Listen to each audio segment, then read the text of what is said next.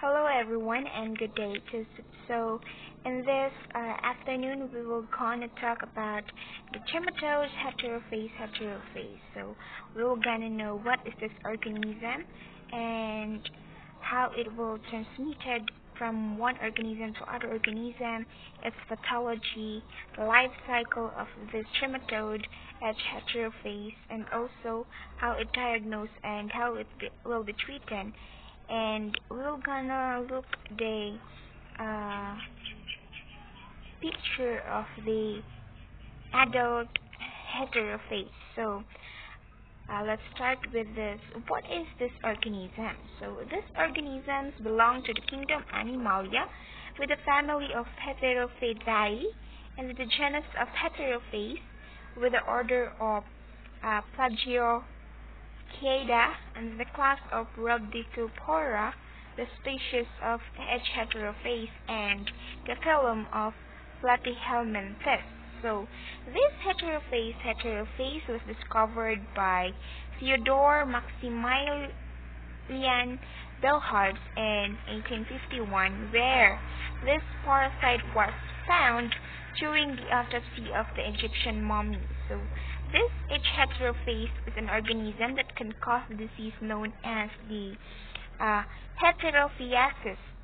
So this found primarily in both the Near and Far East as well as the part of Africa. So the definitive host are human and other mammals, and in the intermediate host where this heterophyes live are the snail, and the second intermediate host are the fish. So how this disease transmitted from one organism to other organism? So where can we get this disease?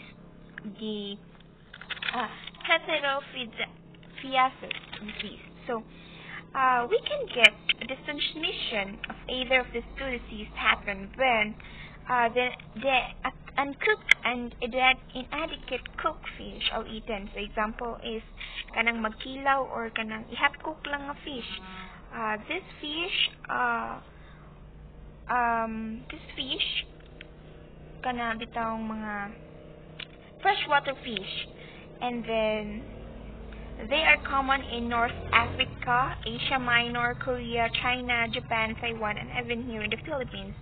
It was a common disease. And the carrier of this H. heterophyes are mud snails. In Egypt, they called it Ceratodiopsilla conica, and in Japan, they called it Cerithidea singula. So these uh, mud snails are the carrier of this heterophyes, which I mentioned. So the most infected snails were found in Nile Delta compared to the Delta, and then the carrier is the mud snails. So uh, this This transmission now can occur from snail to uh, the fish. So how it works, how it happens. So now we can uh, we can discuss the pathology of this uh, trematode H heterophyes. So each worm can cause mild inflammatory reaction in the intestine. When heavy infection causes damage to mucosa, and produce intestinal pain and mucosa diarrhea. So now, when the egg now will enter the blood and lymph vascular system through mucosa, go into the ectopic site of the body, the heart can be affected. So the, the tissue reaction in the valve and myocardium uh, that cause heart failure. And when this egg can enter the brain or spinal cord, it causes neurological disorder and sometimes fatality. So it's really that not that quite little illness, but it will going to be fatal, no? So the intestinal infection that caused with this uh, trematode H heterophyes called heterophiasis, which I mentioned. So it will going to infect uh, the intestinal crypts and then can cause acute to chronic inflammation, atrophy, fusion, and shortening of the intestinal veil.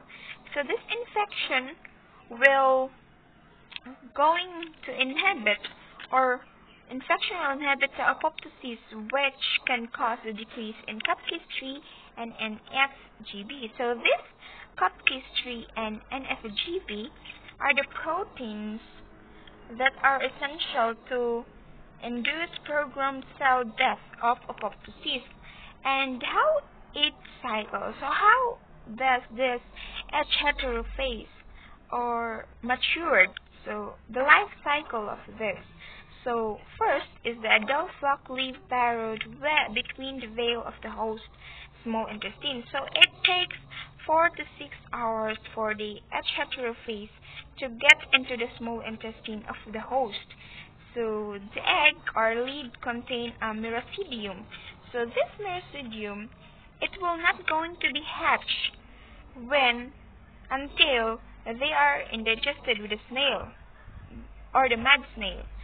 Then the miracidium becomes a sporocyst. So in, inside the snail guts and begin to produce rediae. Rediae, rediae. So rediae produce the cari cercari, which can exit the snail.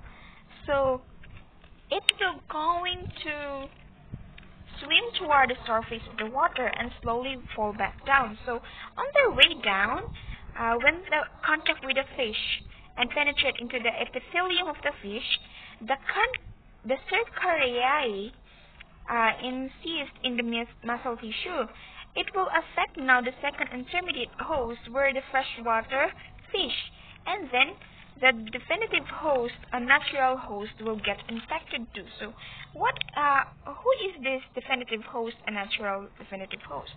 So, the definitive hosts are the human and birds, and then who mostly uh, eat the undercooked or raw meat of the fish, and then the natural definitive host are the cat, dogs, foxes, and other. And then how the, the epidemiology. So people at high risk of this infection are those fishermen. So usually they are people who are eating raw fish, people near uh, live near lake shores and riverbanks, and the people with a common practice of this deficit. So how it was diagnosed and the treatment. So the, di- the diagnosis done by stool examination is difficult when adult worm is not present because the eggs are hard to distinguish from C. sinensis.